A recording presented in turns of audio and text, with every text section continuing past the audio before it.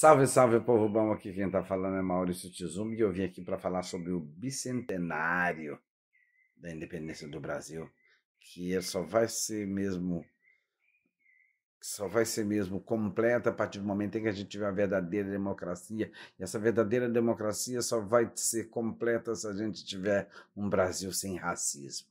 Então, é isso aí, meu povo. Vamos buscar um Brasil sem racismo para a gente ter uma, uma, um país com democracia e ter um bicentenário da independência do Brasil que valha de verdade. Valeu?